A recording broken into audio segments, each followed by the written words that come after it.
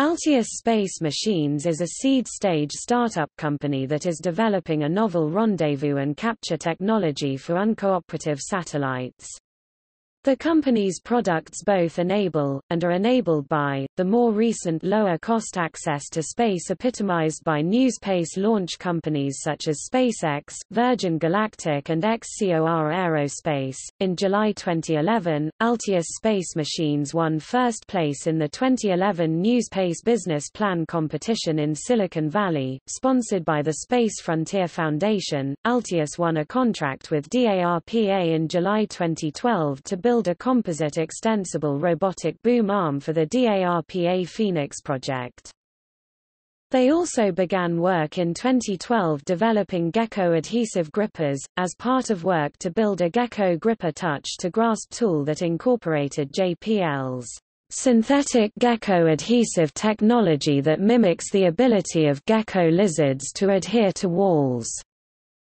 The work leveraged previous work done by Altius on uncooperative capture mechanisms using electroadhesion. In 2014, Altius began work on a magnetoshell aerocapture and aerobraking technology for CubeSats.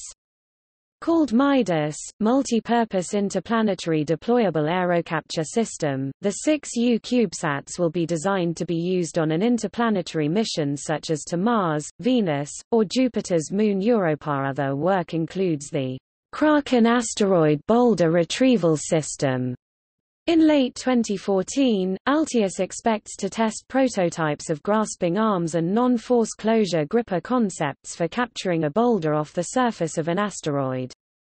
The study is funded by NASA as part of their broader Asteroid Redirect Mission ARM project, and is intended to mature system concepts and key technologies while assessing the feasibility of potential commercial partnerships for ARM. In 2015 Altius win contract to build, lightweight robotic manipulators, that utilize rollable composite stem booms to provide a prismatic extension, retraction DOF, as robot arms for assistive free flyers AFF on the International Space Station.